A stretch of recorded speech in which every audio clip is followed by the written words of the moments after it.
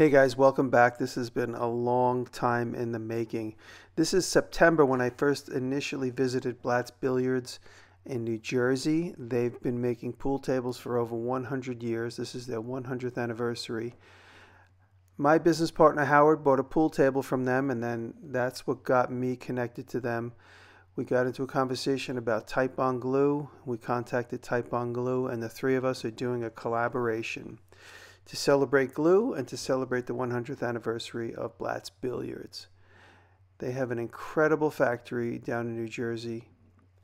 They have a hundred years worth of supplies, many, many antiques, endless skilled tradesmen working for them. They build tables from scratch. They restore a lot of tables. The incredible design that you see walking around this place so many beautiful antique tables getting restored back to perfect condition. Some original new designs being made side by side. What an inspiring place. So much wood carving under one roof. Absolutely beautiful, skilled trades being displayed there. Now, here we are in my shop in upstate New York, and I'm getting my slates delivered so that I could build the table of my dreams. Now, each table is made up of three slates. Each one of these slates weighs about 200 pounds. That's why they make them in three parts so that your typical pair of tradesmen can carry them into a house and take them apart. Each slate has this wooden back and poplar, and it's glued directly to it with Titebond. And that's what they're explaining to me there is that the wood is sliced up so that when it shrinks and expands, it doesn't pop off. I think it's they use original Titebond, and that's poplar on the back of the slate. The slates come from South America, and at Blatt they customize the back of them and install the wood on them, just like you see there. Now the table is made up of three parts. You have the head and the foot. There's so many traditional rules and regulations, and the head and the foot might mean something to somebody that plays pool professionally, but to me it's just a way to orientate which holes go where. To educate myself on this build, I made a practice table. This is just crummy pine from Home Depot. I made up the pockets and the rails just to get some practice before I went and spent some money on some high-end wood. I ended up going and getting some walnut and some maple and some poplar. Here I am at first cut.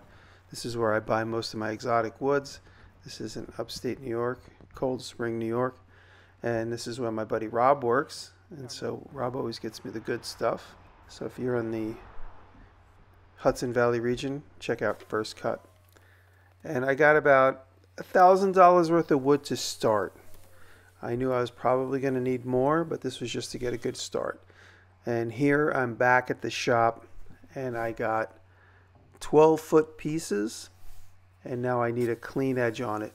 And I'm gonna do that by using my new Festool saw with the long track there. I, I actually bought that for a thousand dollars and it makes the craziest whiny sound that sounds like it's breaking but everybody tells me it's not.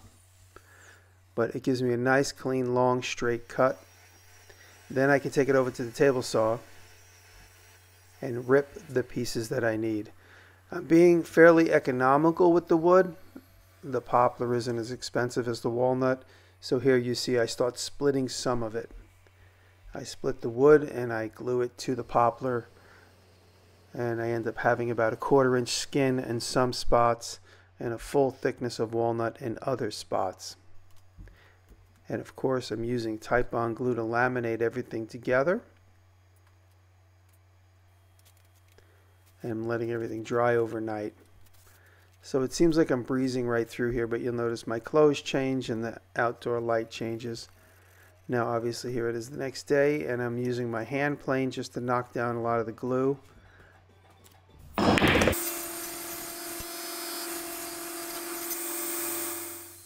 One of the most important things about making a pool table, in my estimation, is to make sure that it's absolutely sturdy and absolutely strong. You don't want any movement whatsoever. That is why I'm using my dominoes. And that's why I'm making this fairly thick if you notice ultimately how it all goes together and how thick it becomes. And of course I'm using Titebond glue to make sure nothing ever comes apart.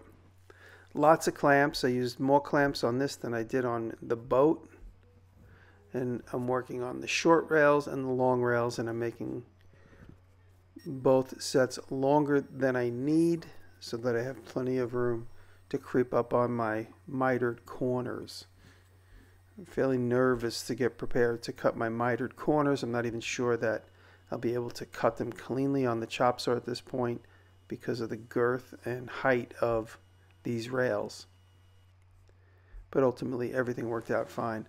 Here you see me adding more, in fact this is poplar, adding the poplar spacers underneath there just to build up that thickness. And cleaning away my glue and adding more and more material. Now, if I was to dedicate all that space to walnut, it probably would have been crazy. I didn't think to split the top parts until I made the side parts. I probably would have done that had I thought I would have been able to save almost a full plank of walnut. And I'm able to cut through there. I'm double checking with my Starrett compound angle finder there, my compound square, combination square more accurately. And I was getting really good, accurate cuts with this Milwaukee chop saw. And these rails were so long and so heavy, I had to hang them in space. And I use a stilt at the end each cut and I clamped it to the chop saw so nothing moved while I was rolling through it. You see there, that's where I'm putting a stilt on it just to keep it all level.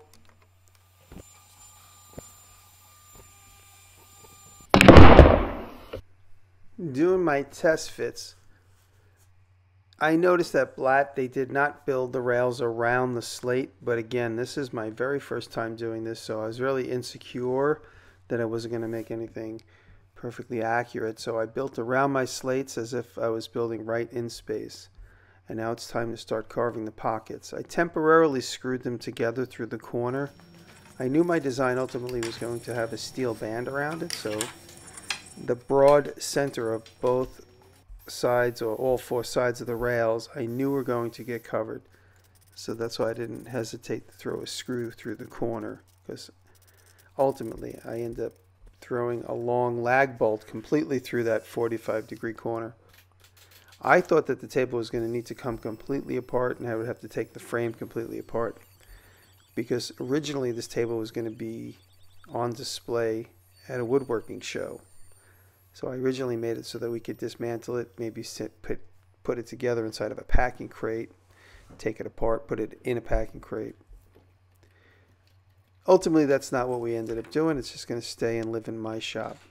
In hindsight, I would have glued the corners because now they're opening up a little bit with shrinkage and whatnot. So there's a there's not the tightest miters on the corner. Now I'm carving out the space on the bottom of each one of the pockets.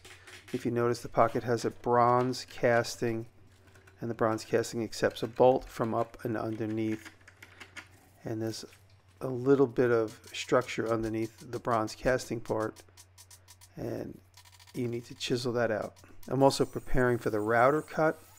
I start hand chiseling it and right there is going to be a bit of the finish work. So that's why I wanted to chisel it so I can define my line because it's going to be living directly along the edge of the leather pocket.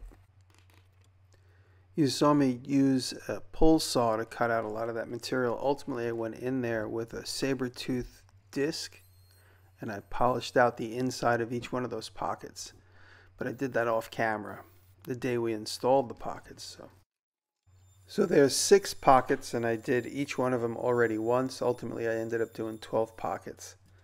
I got better as time went on.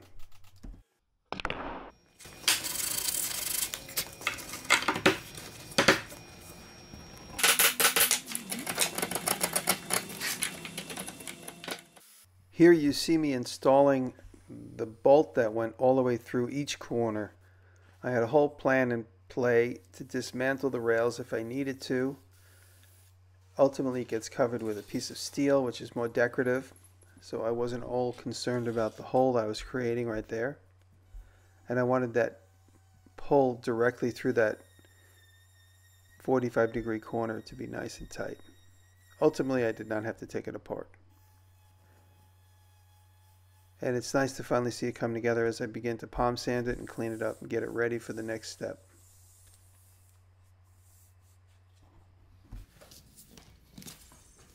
There are many parts of the pool table that are made by other suppliers, and this is one of those. You get these rubber, hard rubber bumpers, and this extrusion or this profile of wood you see there. These get glued together, and here you see me using Titebond. Just that vulcanized rubber gets glued directly to that wood, and that's how it works. These were all a little bit longer than the distance between every one of the two pockets.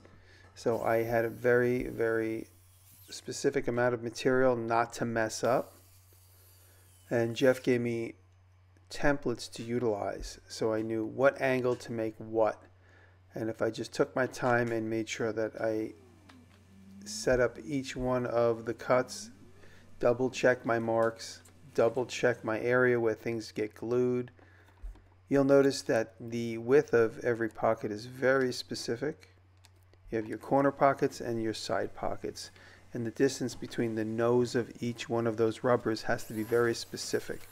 And in some cases, you'll see me handling a spacer. I had a spacer available always around me to make sure that the corner pockets were the certain width and the side pockets were a certain width. And you could see there how close when I cut it, what I have left over is virtually useless. So it's really important that I make every one of my cuts extremely accurate.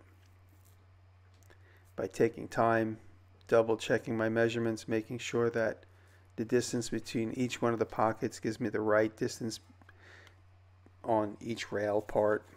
You see me there holding a spacer getting rid of the glue so that when I go to put that up against it, everything's nice. And I didn't want the rails to be higher than the sides. Ultimately, I realized the rails should have been lowered a little bit to make room for the felt. But Jeff said what I did isn't completely uncommon, but technically speaking, you want the rails to be a little bit lower so that when you wrap the felt, the felt is at the same height as the side, not just the thickness of the felt itself above it.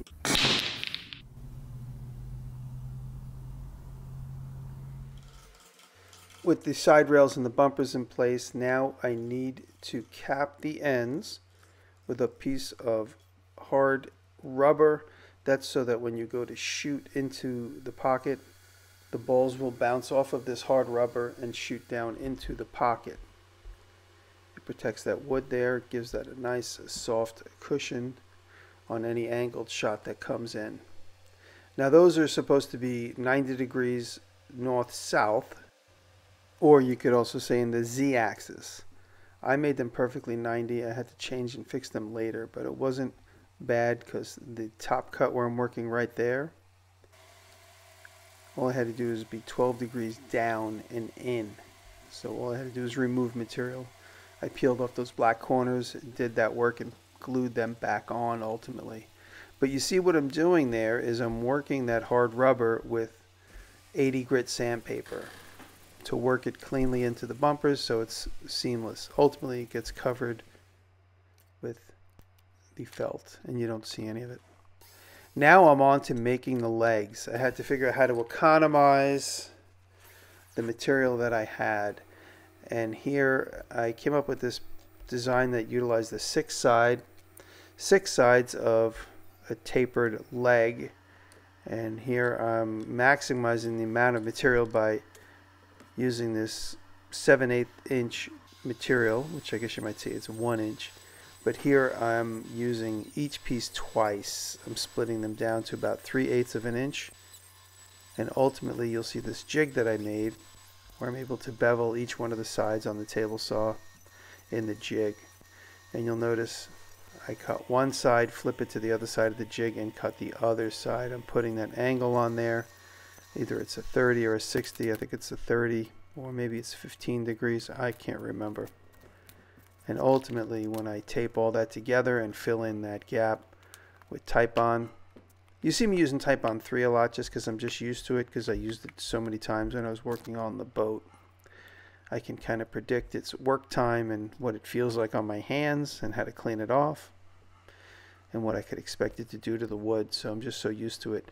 So here you see that I'm just using electrical tape to keep this clamped. And I double check and make sure that it's not being clamped in an odd oblong. Make sure that all the joints are closed as they should be. And you'll notice I have that grid cutting mat. There is an occasion that I am looking to make sure that the sides are parallel, utilizing the lines on the mat. You want each opposite side to be parallel and if they're not you got to make sure that you don't have a smaller piece in there. It goes together fairly well so that I'm pretty confident that everything is in order everything's pretty much correct. I took a big 20 inch sanding disc glued it to plywood and that's how I'm getting my nice flat perfect match face and here with the pencil I'm marking the parallel from the opposite side. I'm marking it on each one of them. Then I go and hand sand right up to the line. And then I bring it back over to that same big plat platen and I hand sand and get everything right up to the line. I'm, my goal is to split the line in half. I don't want it to go away. Then this way I know if it goes away, then I'm lost in space. But I split it in half. And now these are the parts that are going to make up the cap of the big tapered leg. And I'm using a darker Titebond. It glues dark. It fills gaps. It works really well. And I glue each one of the caps onto the legs. Let it dry overnight.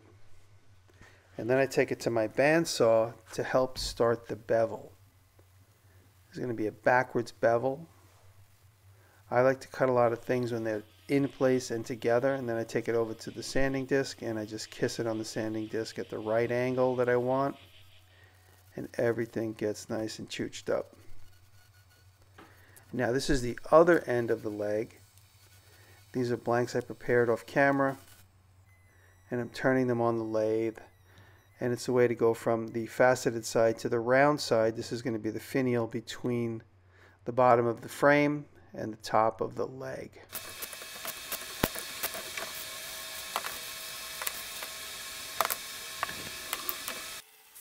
There's a lot of engineering that goes into this. Here I'm trapping a one inch bolt that's going to go up through the bottom of the frame and I'm using the Titebond CA glue to glue those bolts in place and then they get trapped. Once they're glued there they get trapped between the top of the hexagon and the round puck that I just made on the lathe. So there you see how that bolt ultimately gets trapped. And those big bolts are what's going to bolt into the bottom of the frame. You'll see in a minute. Now these are going to be the parts that make up the small feet at the other end of the taper. And I'm gluing on that peg with the Titebond CA glue to go into the lathe chuck. And then also it creates a center point that will glue underneath and inside of the tapered, small tapered end. And the way I do it is I make the first one and I use that first one as my pattern to make the others. It's the same thing that I did with the top round part. I make one that I like and then visually I just try and match it to the others.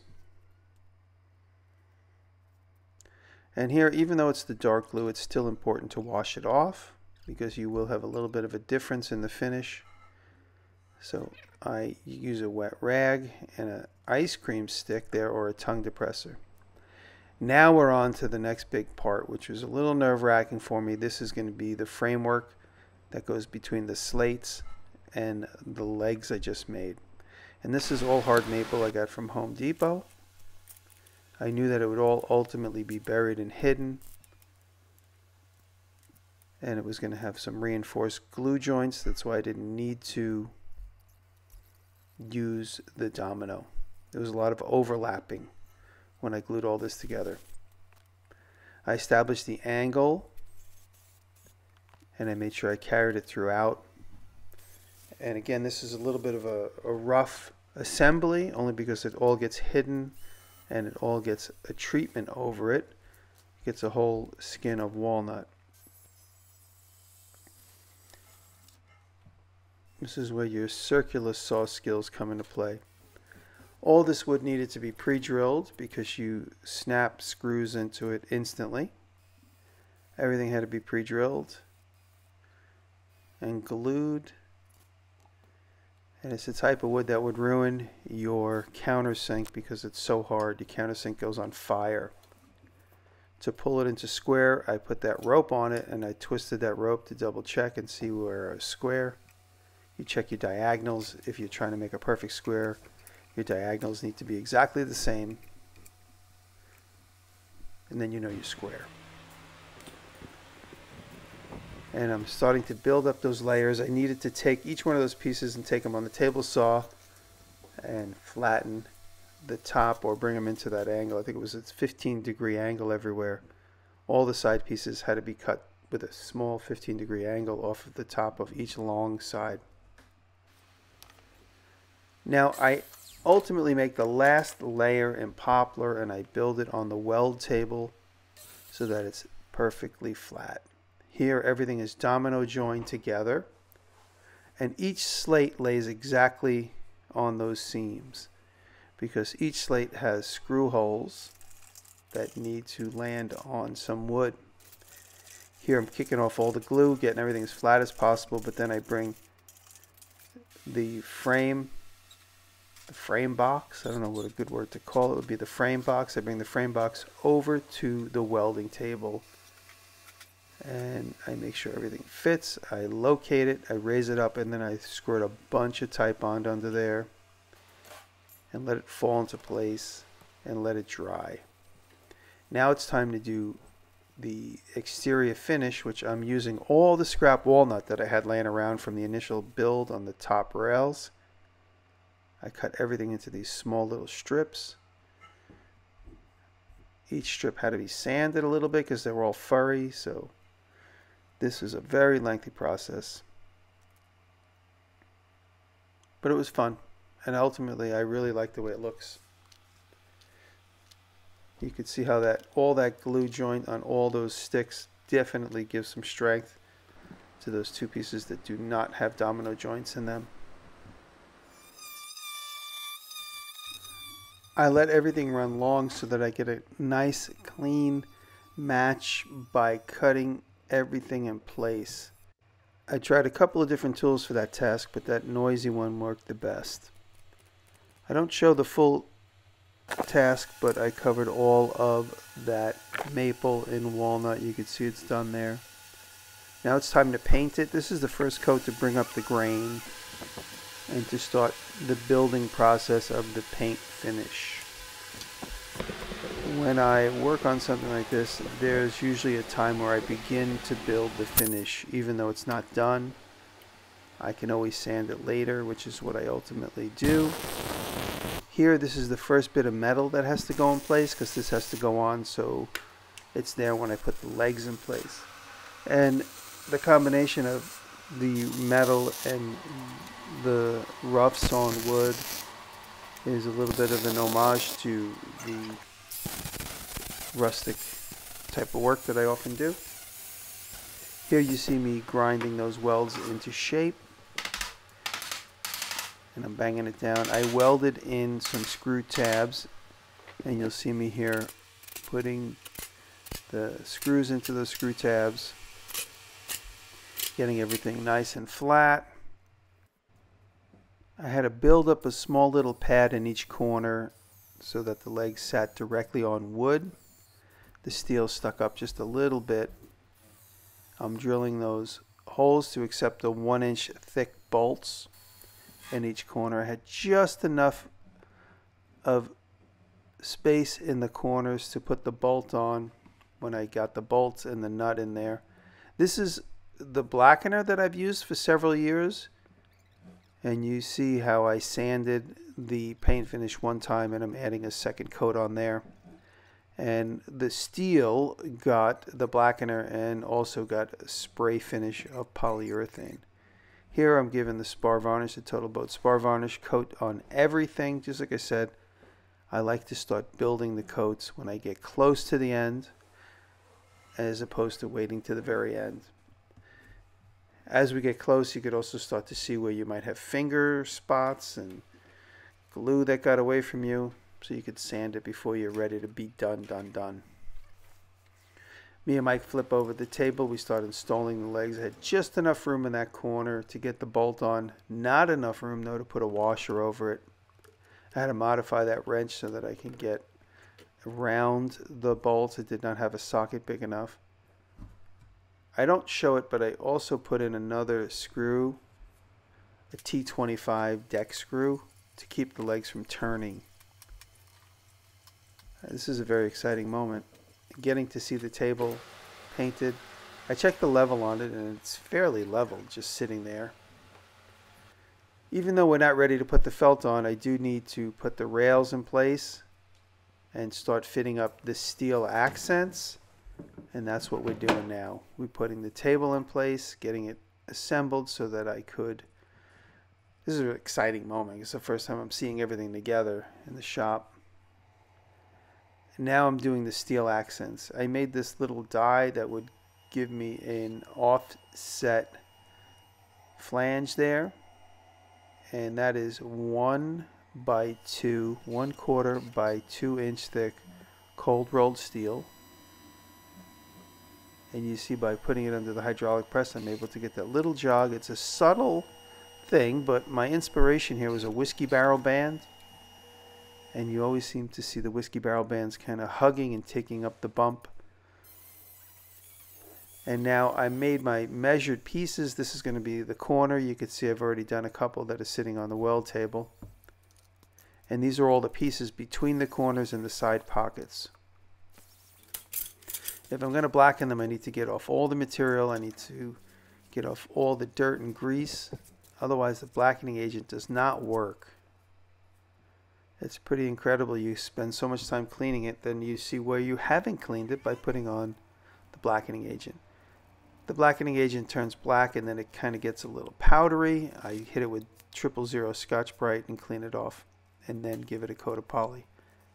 Here you see me using the construction adhesive from Titebond. I glued the steel directly to the wood. And then I come back the next day and I put all the rivets in.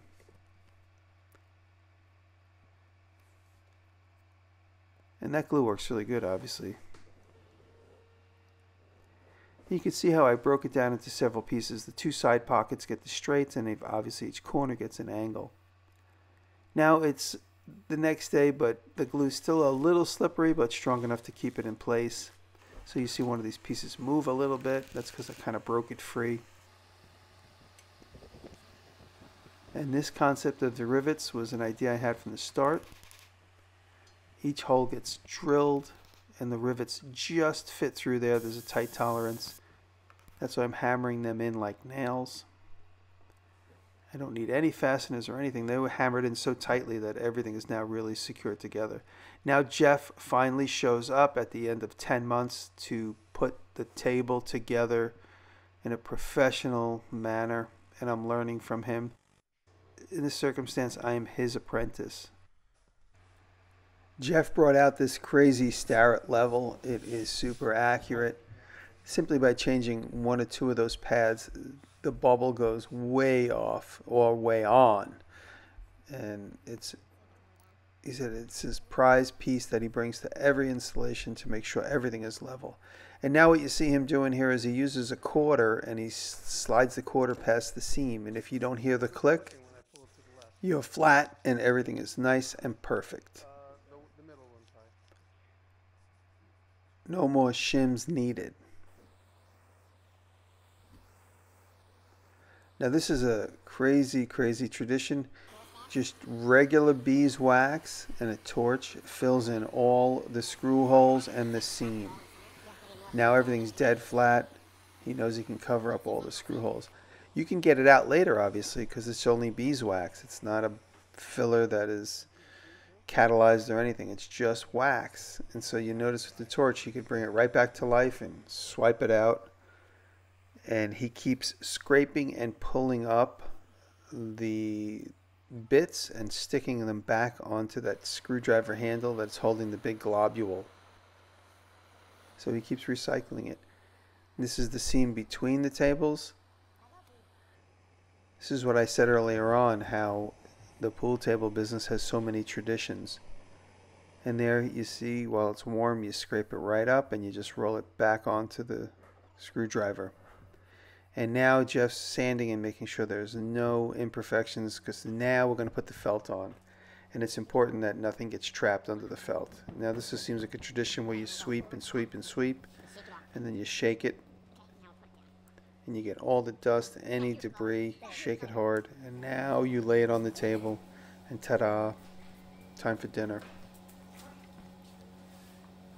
It's nice to see a professional like Jeff go right to business knows exactly what he wants to do.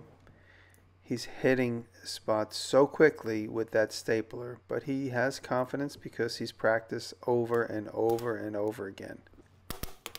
I interviewed Jeff at the very end. I asked him about the family business, Blatt Billiards.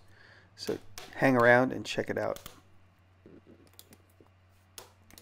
You can see how fast he's installing this felt it's stretched from side to side the flatness in the middle is simply because it's secured on extreme sides with just staples. This electric staple gun obviously works very, very, very well.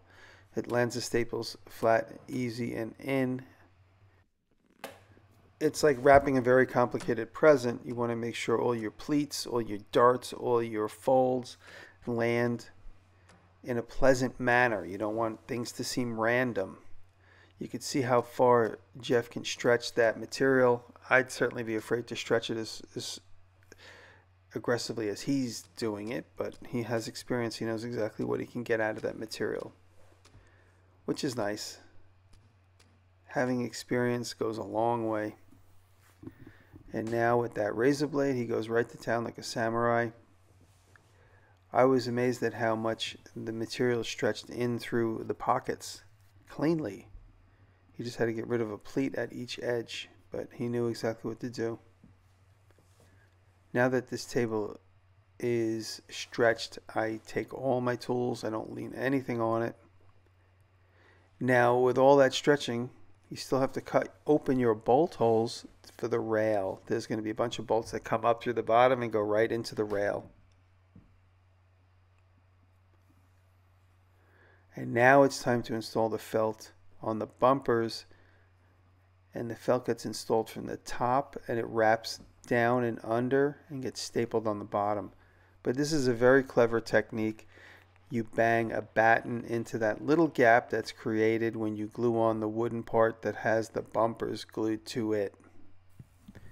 So if you scroll back and you look, you'll see there's a gap at the top of each one of the rails, the bumper, the bumper rails and that's to accept the material and a stick like you see here which again is another material or type of thing that gets supplied to a company that makes pool tables.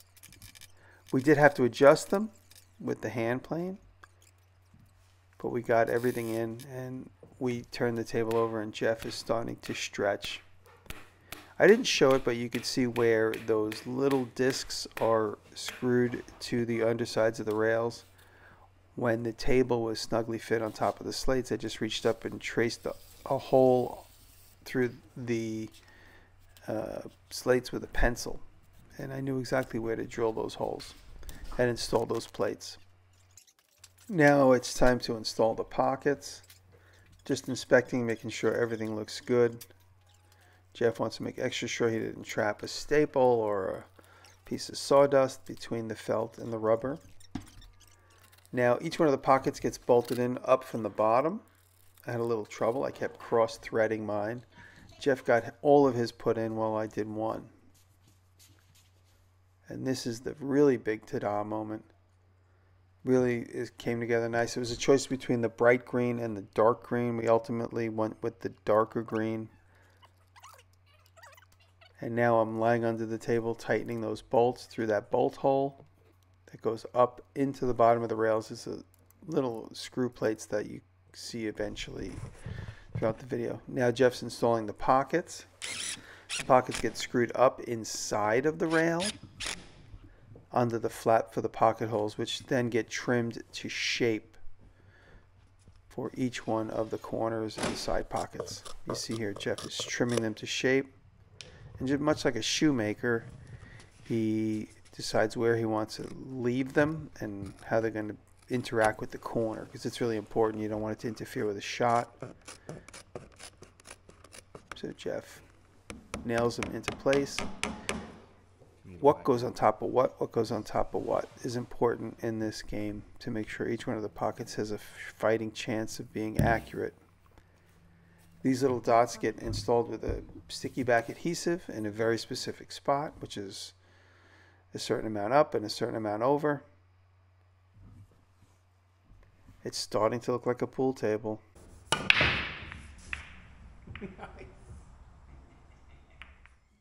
The very last thing to finish are the sights. Those are the dots that go on the rails between each one of the pockets. I took the rivets that I used in the side and I mashed them into a small tapered flat top. I didn't want to try and do mother of in, inlay there, mother of pearl inlay. I knew I would mess it up.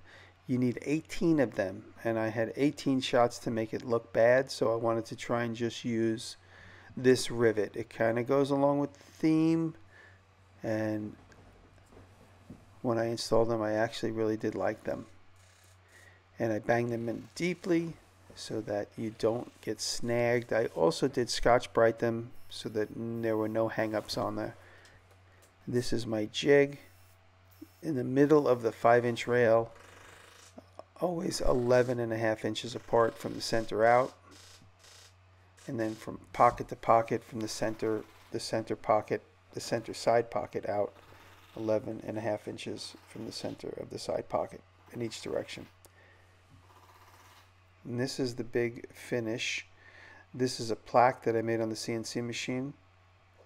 I did not have brass, so I made it in a piece of acrylic and spray painted it gold. And there you see, designed by me under the direction of Blatt, held together by Titebond.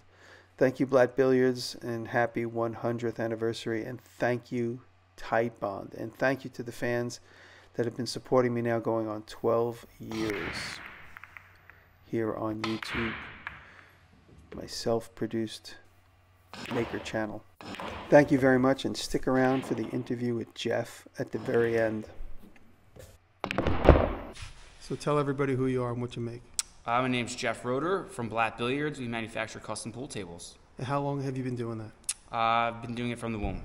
really? So you yeah. were born into Blatt? Born and raised, uh, you know, summers, winters, throughout high school, college, and uh, everything from the bottom up. And when you went to college, you knew you were going to get out and go right back into the pool table business? Uh, it was in the back of my mind. You know, it definitely yeah. helped, um, you know, taking the lessons that we learned in school and then – being able to oh, apply, apply, to a family to business. A, you know, a practical use that yeah. we do every day. Just to clarify, your name is not Blatt. Jeff Roeder. Blatt was a business that you said your grandfather got involved with. Yep, Blatt Billiards, uh, founded in 1923 in New York City. And then um, after World War II, my grandfather started out from the bottom up and just worked his way up there and eventually had three sons. Those sons joined the business, and then, um, you know, 70 years later, here I am. It's amazing. Yes, and you're going to take it and you're going to keep going. Yeah, that's the plan. Yeah, right on. And how's business? Business is good. We still manufacture. We make custom pool tables, everything from entry level all the way up to handcrafted custom tables. We make marble tables, travertine tables. Uh, the stone's imported from Italy. They're crafted over there. This is the basics of the table. They come to our factory in New Jersey. We put them together, do all the fine tuning, and then we ship them out all over the world. Wow. Did you guys develop that stone pool table? You're the first people to do it? Yeah, first people. Yes. And then we got approached by someone who was an expert with marble and stone, and then we collaborated together, and now we have these beautiful travertine marble tables when Howard, my business partner, first called you, and then you guys were talking, and one thing led to another, and somebody said something about Titebond glue. Titebond. And Howard's like, "Oh, we work with Titebond." You said you work exclusively with. Holds it all together. You know, the tables are made from many pieces of uh, all different species of wood, and we glue them all together, shape the wood, and uh, Titebond has not failed us. So You- And you use the Titebond to glue the wood to the stone too, yeah, and the rubber to the wood. that's correct. That's crazy. You know, we use different types of Titebond. Sometimes we have outdoor applications. We'll use Titebond three. So when Howard said, "I know somebody that could make a table," what was your first impression? Honestly, I was like, all right, here we go again. You know, it's another new project. You know, I have no idea what I'm getting myself into. But, do you have a uh, lot of people proposing wacky shit all the time? all the time. You know, the marble table started out just with an idea, and then you know, collaboration. You know, a couple tests. You know, a lot more refinement, and sure enough, you know, now we have a beautiful line of marble tables. Our next line is going to be the rest of rustic table Oh, line. right. I was going to say, I don't want to ask you. Well, I'm just going to say, is I hope you don't regret getting involved. No, absolutely. I think we have a beautiful table. answer. We have got a great prototype here, and we're Yeah, gonna thank do a lot of models after it. I mean, I think Thank it's you. a really good hit. Yeah. The steel combination with the walnut wood is a home run. Thank you. When I was getting into it, like I tell you, I felt so intimidated in the beginning because I was so worried that I had to like live up to all these gorgeous tables you guys have in your factory, mm-hmm. and I was like, okay, I'm going to emulate that. But then I was like, what do people look to me for? Rustic, wood, and steel. That's really like where I feel comfortable. That's my wheelhouse, and Yeah. that's why you know late in the design process, I was like, I'm just going to abandon all these fancy billiard Western style ideas I had and just go for You know, you have simple and rustic. You have a lot of uh, flexibility, but you know what we did here was we achieved our objectives. We have a perfectly uh, billiard specification table. This table meets all the specifications Thank you. for the Billiards Congress of America. I called them about every two weeks. Yep, we have, uh, you know, I think I'm on speed dial now. and uh, yeah, it's the proportions, the measurements are right on. This, this table would hold up to a tournament, no problem. Well, thanks for coming out and putting it together and, and doing the fine details. I Yeah, it's a appreciate it. pleasure. Yeah, thanks, man. It was a well education for me. It was great. Thank you. Yeah, thank you, brother.